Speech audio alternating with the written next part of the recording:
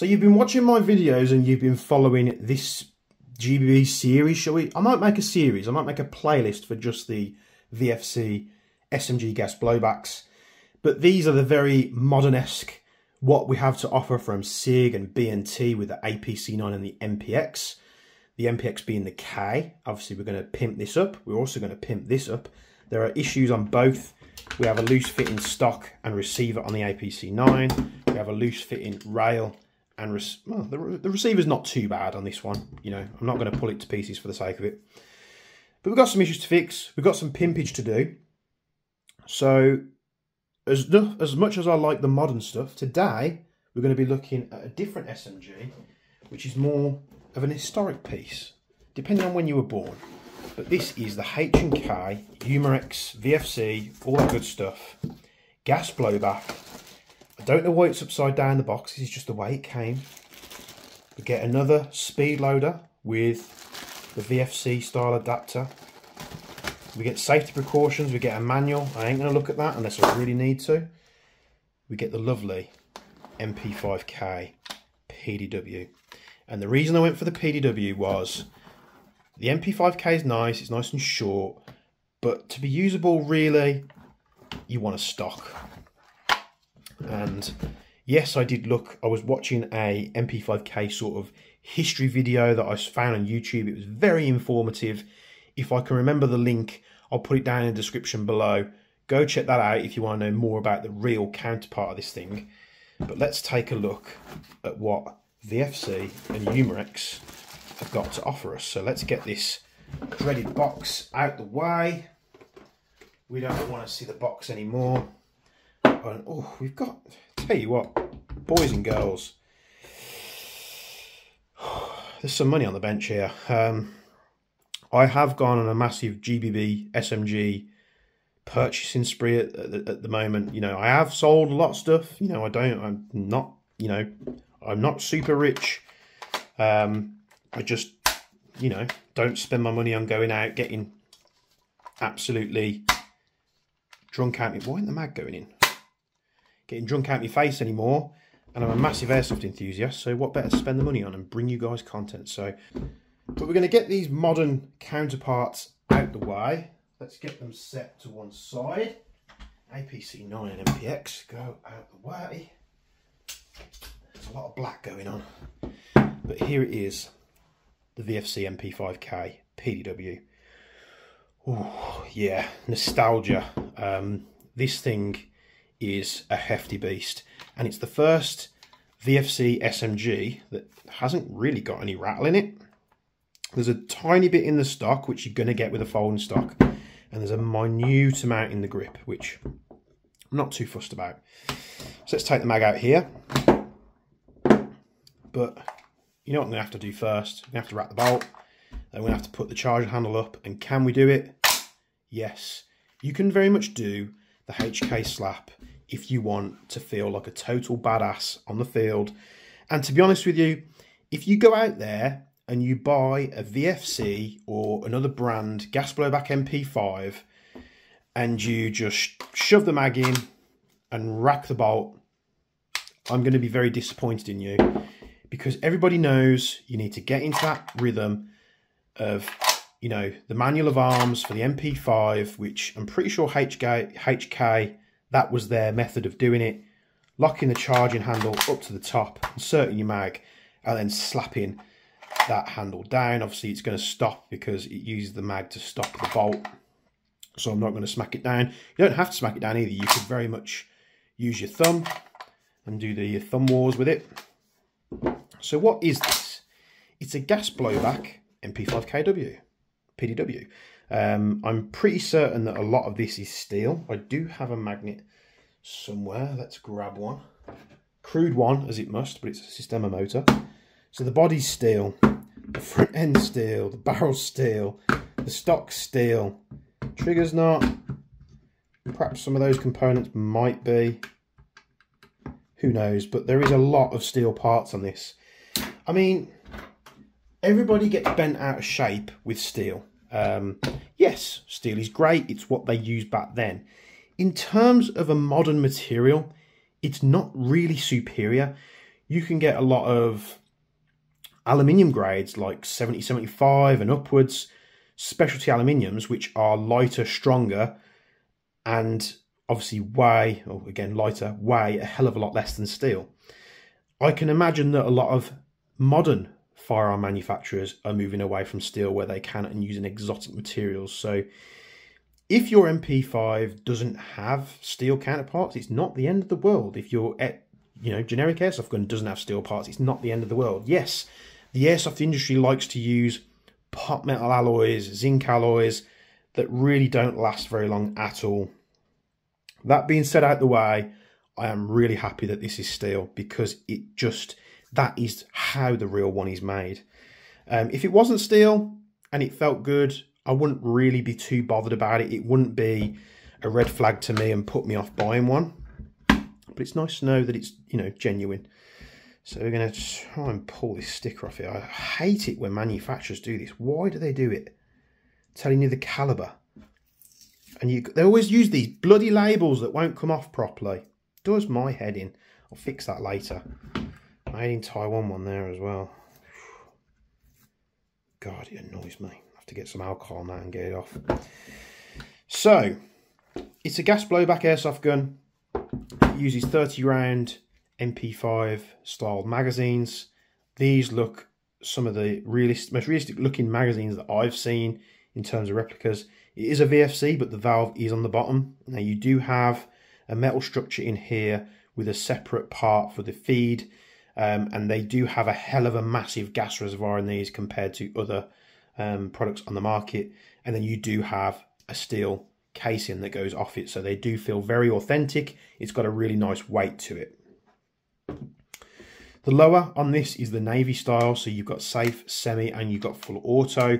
You do get some MP5s that have the three burst, but to be honest with you, if I did buy an MP5 in the same format, like a full size, let's say I find a full size, and it does have that three burst on there, it's probably going to be the first thing that I swap out because I'm really not too bothered about a three round burst on MP5.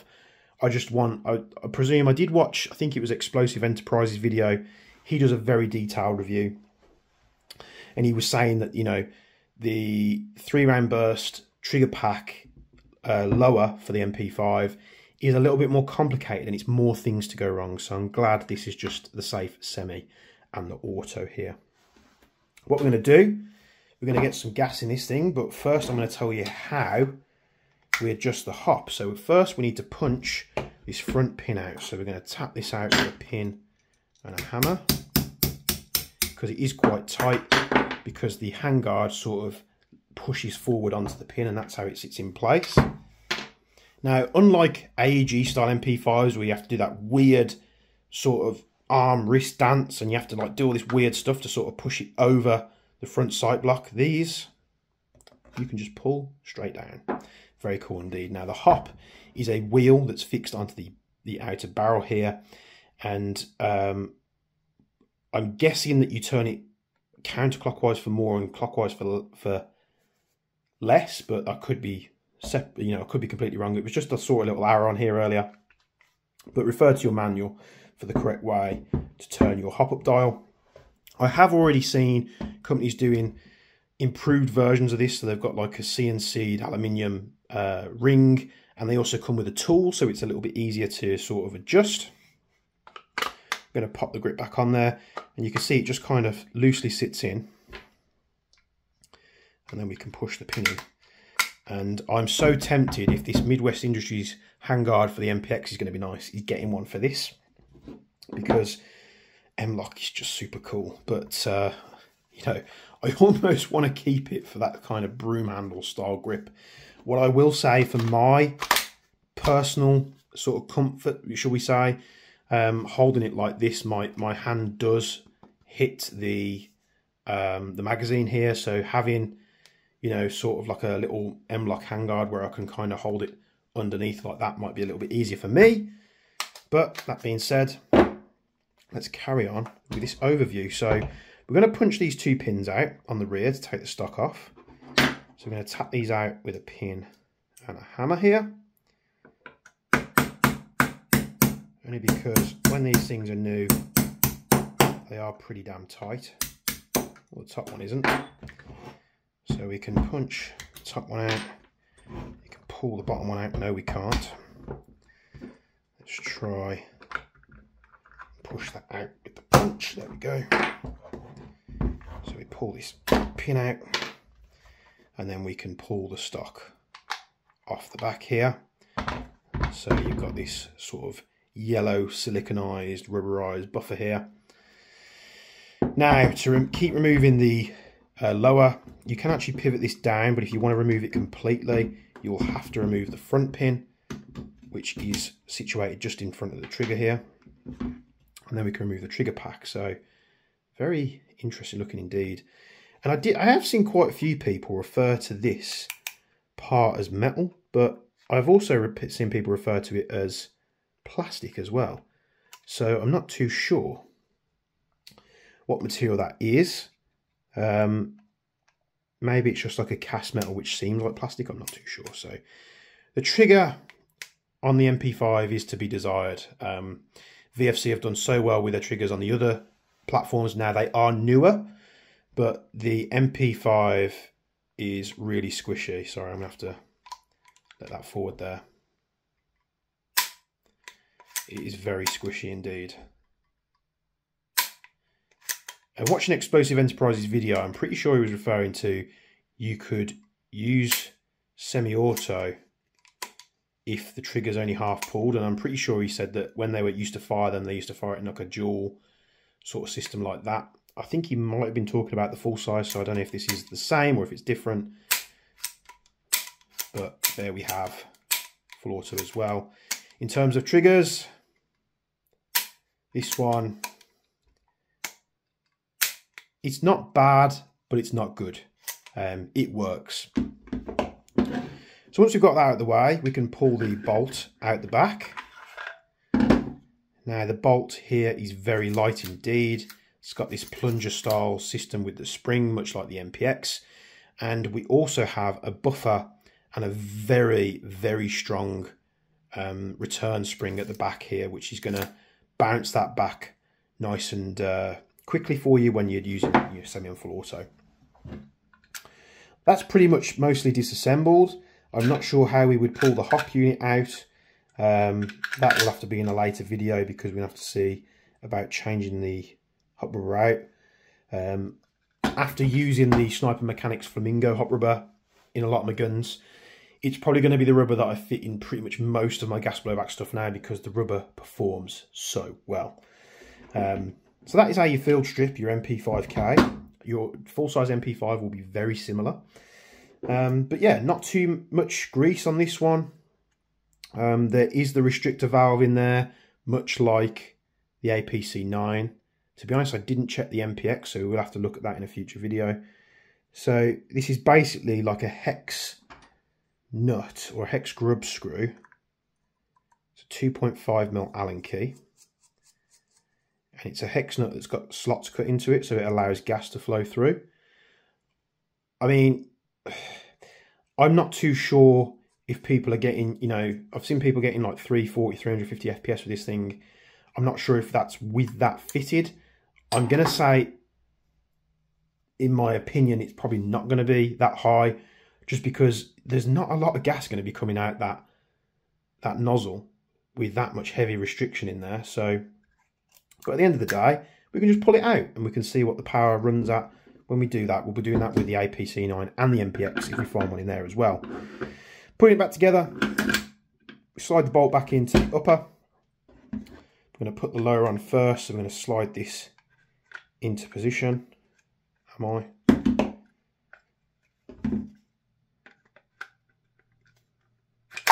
Like so.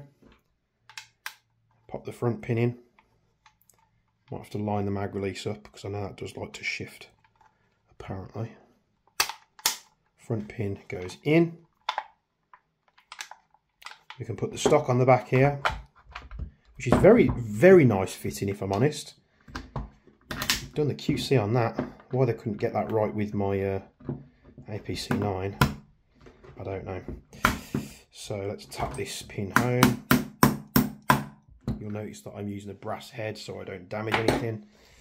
And there it is back together. We'll do a quick function check.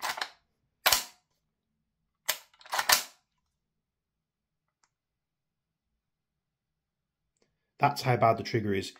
You can let go of it so slowly that it doesn't actually reset. There you go. So we've got sticky trigger syndrome. Now if I release it faster, it does work. So let's get some gas. Oh, in fact, no, we can't. See now with the VFC MP5 series, we can't actually dry fire it unless we were to jam some kind of thing in the mag because the bolt actually uses the follower and it jams the nozzle against it to stop firing. So we could we could fire one round technically. Um, so we'll obviously have to wait for a firing video to give this a go. But that is a massive pain. A lot of us who own gas blowbacks like to be able to dry fire them, you know.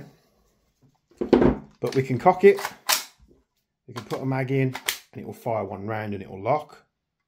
And that's how it looks like that. You don't get any click. Put the mag, put the uh, bolt lever up, take the mag out, put a new one in. And if you're not HK slapping it, then you're just not doing it right. You can do it a whole different load of different ways. Um, obviously fitting some kind of uh, optic on here is going to heed your ability to do that. But to be honest with you, with something like this, I'm probably not going to be running an optic on it anyway. So thanks for tuning into this first video on this MP5K PDW. What should we look at next on this platform? Note down in the comments below and I will try and cover it on video. I'll of course be taking this fully apart to look at the barrel and hop system and how that works. We'll also be taking the magazine apart to see what's going on there. And uh, yeah, I think I want to order suppressor for this thing because I think they look really cool with suppressors on. It is really small with the stock folded. Um, here's an here's an M4 stock, Magpul stock. It really isn't big at all, but it is heavy. So I cannot wait. I cannot wait to get some more mags for this and run this in a game. Until I get some more mags, it would be useless. So, um, but I have heard really great results from other people saying that these these magazines hold so much gas that you can fill them up three or four times with BBs and you can keep yourself in the game fighting for longer. So I'm not going to do that. I'm going to order a load of mags because I want to be doing some tactical reloads um, and having some fun on the field. Because at the end of the day, if you're not having fun, what's the point? Thank you very much for tuning into this very lengthy video. Sorry as always if I tatter on about stupid things that don't make any sense or don't matter. But as always, from me and Bench, thank you very much for watching this video and we will see you in the next one. Do you know what? I didn't feel right ending the video that way where we can't test the rate of fire of this thing and how snappy it is. So we'll take a mag. It won't be on camera, but you'll be able to hear it at least. I'm going to take some BBs, I'm going to fill it up. And the first thing I want to say, this has got to be one of the easiest gas blowback mags ever to fill up with BBs. Now watch this. You fill it straight down. I'll do it the other way just so they're going properly. And that is full. I mean, I've never known a gas blowback mag be so easy to fill up. So of course, got my safety specs on. Gonna lock that bolt to the rear. I'm gonna slap a mag in. I'm gonna put it on safe just to be sure. And we are gonna slap that bitch. And we're gonna select semi-auto first. Um, I haven't put any more gas in this mag, so we'll see what it does. Semi-auto. super, super responsive and full auto. And yeah, we run out of gas. I didn't really put much in there. I'll just put an extra squirt in. I only did like a couple of seconds, didn't I really? So you can tell, you can hear how much gas gains that mag. So we'll just get rid of the uh, last few BBs. What I'll note is this magazine isn't getting as cold as the MPX did. So let's make sure we've got one the chamber. Yes, I have. Let's dump mag. that rate of fire is so cool. I think it's faster than the real one, but honestly, I don't care. That is how I'd run it. and it stop, stops by the nozzle hitting the mag. Not a great system if I'm honest, but it's the way they do it, so what can we tell? Now, what I will say is that short burst has chunked up the rubber on the mag. So I've put one mag through the gun and that rubber is damaged. So what I will say is this rubber is really loose. Can you see it moving? So it moves up and down. It's always something, can't there? So we'll have to persevere with this. I know some people have reported the same thing, but what can we do? If it's going to damage it in one mag, then it's only going to get worse, isn't it, really? But that rubber is so loose in the mag, it's like it needs shimming or something. So anyway, just thought I'd uh, do a quick full auto demonstration before we went. So yeah, this time I'm really going. See you later, guys.